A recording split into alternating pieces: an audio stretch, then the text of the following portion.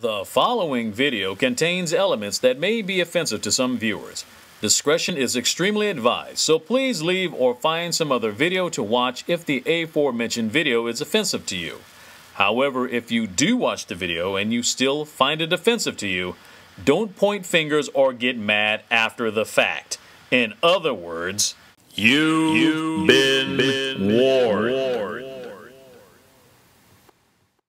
Men and women just don't get along. Like I hear women say this all the time. I know a lot of you sisters be like, chivalry is dead. Don't you? Don't y'all feel that way? Like men aren't gentlemen anymore? That's right. Chivalry is dead. And women killed it. Hello there. It's DB. Do you know it has been nearly two decades since Dave Chappelle said that foretelling quote on his 2000 comedy special, Killing Them Softly. This was the year 2000. This was years before the Me Too and the Time's Up movements were even thought of. Now, back in the year 2000, I mean, men and women really weren't getting along back then. I mean, because you still had women who were still ticked off and offended by misogynist lyrics uh, from gangster rap, and justifiably so. And men were also uh, justifiably offended how TV sitcoms portrayed men in general, and black men in particular, of making the dad look like an idiot or being portrayed as ineligible bachelors in movies like uh, 1995's Waiting to Exhale and other films. But now, nearly two decades later, anyone, I think it's pretty much safe to say that it's really, really, really bad now. If it was bad in 2000 between uh, male and female relationships, I think it's pretty much gotten worse. I mean, it's really gotten to and gotten to the point where you have people making divorce parties where people are breaking up uh, with their ex, and not only that, you even have people. You know, it, it it's gotten so bad that women would rather marry themselves than marry uh, a, a, man.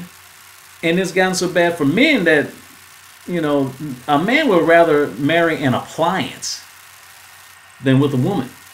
Now, the following clip that I have uh, is from uh, ABC News by the reporter Linsey Davis. And she's talking about how some women are committing, but rather commit sologamy or marrying themselves than being with the opposite sex. And this is protected by fair use. And yeah, I had like 20, 30 friends over. The only thing missing, the groom. I will throw the bouquet somewhere. The 36 year old, tying the knot was all about making a formal commitment to the love of her life, herself.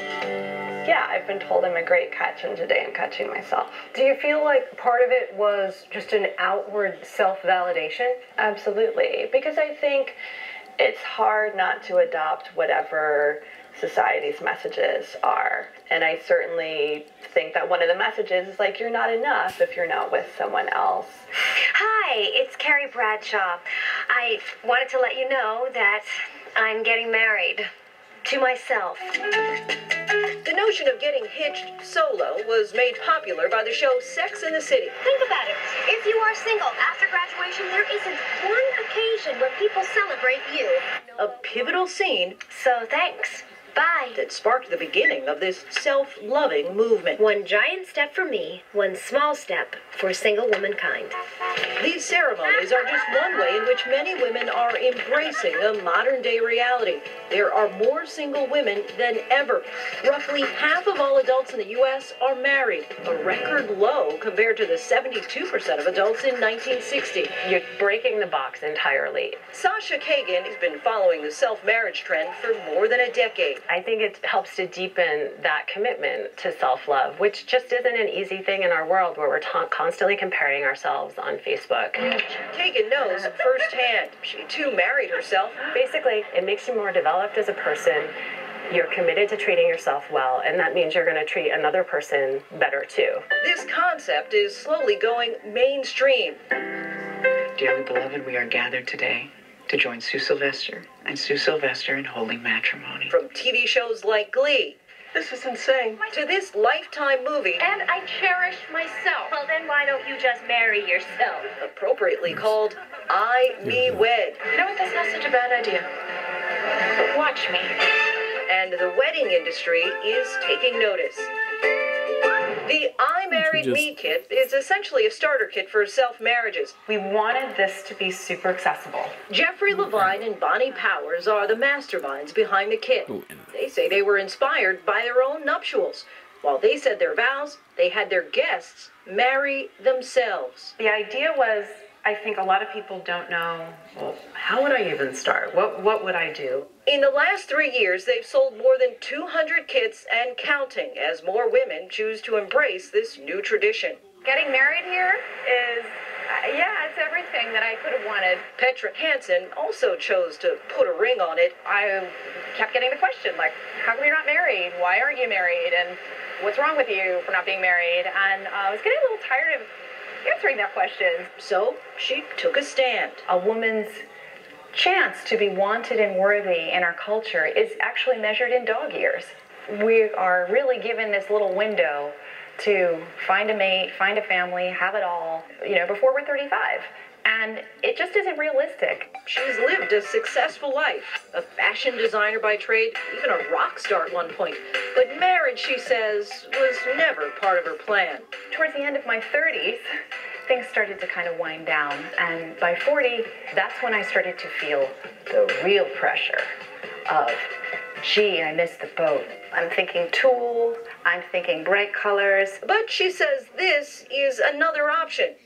And while buying the ring and sketching the dress were easy, I wanted to make an announcement. turns out telling loved ones about her plan is proving slightly more difficult. I'm getting engaged to myself. Whoa. I'm getting married. I have, I have more questions. Okay. I just don't want to be, I don't want you to think I'm some kind of nut job. It doesn't hurt anyone, and it doesn't take away from anyone, and you're celebrating your own relationship to yourself. Validation from a friend. Some people say the first year is the most difficult. We've had some ups and downs. yes. As for Erica Anderson, she recently celebrated her one year anniversary. Has your relationship with yourself changed pre and post wedding ceremony? I feel like it has. In looking at my relationship to dating, because it is, you know, an open marriage. Because you're Clear. still open to dating. So Yes. even though you are enough Yes. and you're fulfilled alone, Right. you're still willing to have someone else join your space. Yes, absolutely. Yes.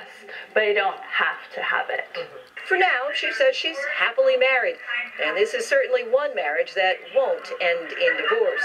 Someone else here be so lucky to marry themselves. I'm already slurring my words. In New York, I'm Linsey Davis for Nightline. I don't want to say you got to be real, but you have to be really honest with yourself. You have to be really honest with yourself. And hopefully there won't be a whole lot of women marrying themselves. Because like I said, there's going to be a lot of legal problems. You know, how you going to divorce yourself? Say if you do meet somebody, how do you divorce yourself? That is, if it's legally binding, of course. Then you're going to have to ask yourself, you know,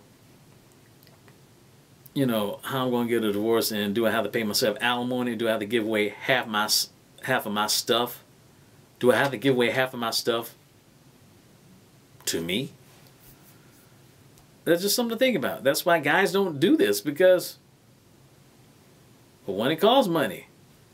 And plus, not to mention, if someone try to do want to go out with you, and they found that you and they go and and they Google you, find out that one time in 2017 or whatever 2000 and whatever, you married yourself. You think you're going to get a date after that? No, probably not. Well, there you have it from uh, Linsey Davis from ABC News. But now let's talk about the guys. Now the guys, um, you know, I mean, many years guys been talking about they're gonna, you know, go to some place you know, and, and get some type of sex robot. And you know, guys been joking about it for years, several years. I mean, even back in 1987, There was a film called Cherry 2000 that came out like 30 years ago. And it was about this guy who has like this domestic robot named Cherry 2000. And, you know, she cooks and cleans. She pretty much does everything, even polices the guy in the bedroom. Well, in the movie, uh, you know, not to give it away, but Cherry 2000 uh, blows a circuit, you know, while they're, you know, uh, getting intimate and uh, it's destroyed, and he has to get you know uh, find a brand new Cherry 2000. I mean, he he still has the disc of her, you know, all their data and stuff, and he goes to uh, try to find a place where they sell these Cherry 2000s. Now, the one that he had discontinued, so uh, the thing is, the ones that they have are not exactly as cute as the Cherry 2000 he had. It's kind of like you know if you've been driving you know Ferraris and and you know, Mercedes Benzes all day, all your life, and and you know, you go from driving a Benz to a Hyundai. Well, anyway, here's the uh, trailer for it, and uh, you might see a very young Laurence Fishburne. But anyway, check out the uh, trailer, and you'll uh, you'll know what I'm talking about. Fair use.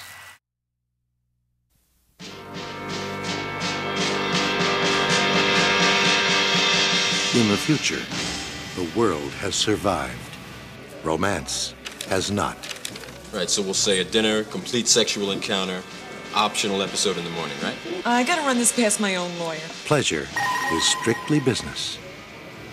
But it will be possible to have the perfect mate. A Cherry 2000. Looks great. Thanks. Thoughtful. Desirable. She'll never run out on him. Just short out. I'm sorry, kid. Total internal meltdown. Now you got her basic memory right here. Vocal patterns, verbal, whatever. Basic voice. Don't look so glum. Your chassis out for the count, all right? You got the chip, you go in, you pick yourself out a new model, you slide it in the slot, you got yourself your girl back in a brand new frame. Give me a call if you find a Cherry. Cherry 2000. Look, my friend, you're going to be a very old man, round in the middle and bone dry before you find one of those in these parts. That's a chance I'll just have to take. Then, the adventure begins. Why don't you hire a tracker to go into Zone 7? Oh, we got a policy against trackers in these parts. Nobody goes into Zone 7. Yeah, look at one of the original warehouses down there. Girls stacked on the shelves like pies. I'm looking for someone to go into Zone 7. I'm E. Johnson. You're not gonna find anybody better than me, mister. I'm not a machine. Do you know where they keep these babies? We call it the graveyard. It is the worst place in the zone. Well, maybe I can get in there and find this thing, but I need somebody riding shotgun in order to make it out in one piece. I want you to chase those birds till they drop. If you think it's tough to meet the right people now, wait till you go looking for a Cherry 2000.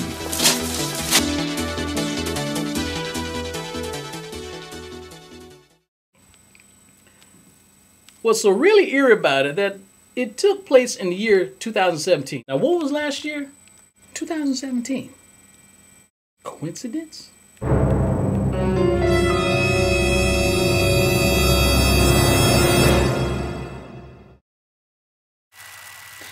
Well, there you go.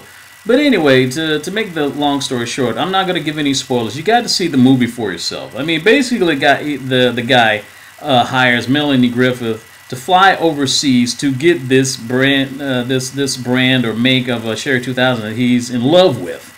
And I know it sounds immature and stuff like that. You know, I know some ladies and maybe a few men think it's kind of crazy that guys are doing this. You know, going this just doing this extra stuff in, your, in order to find affection.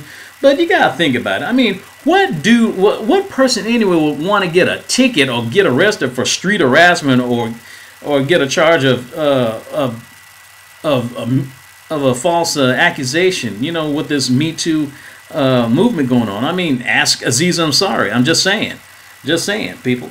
no one wants to get a you know a, a ticket for that. I mean, my goodness, that's worse than jaywalking.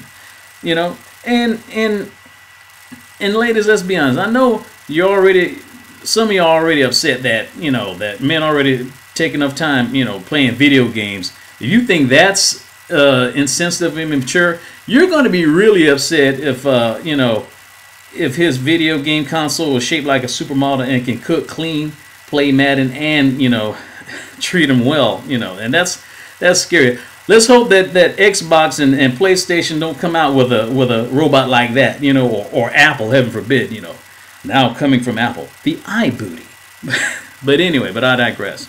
Anyway, um, I know it sounds sounds like a very nice fantasy, but even guys, come on, you know, guys, you know we can't you know you know we can't bring a doll like that to the family reunion or to you know weddings and Thanksgiving dinner and Christmas dinner. To my hey, who's the girl? Oh yeah, she's right here. You know, kids gonna be messing around trying to put plug in their tablets and you know into her and trying to find a doggone you know USB port or something to plug something in there. That's that's weird, man. That's weird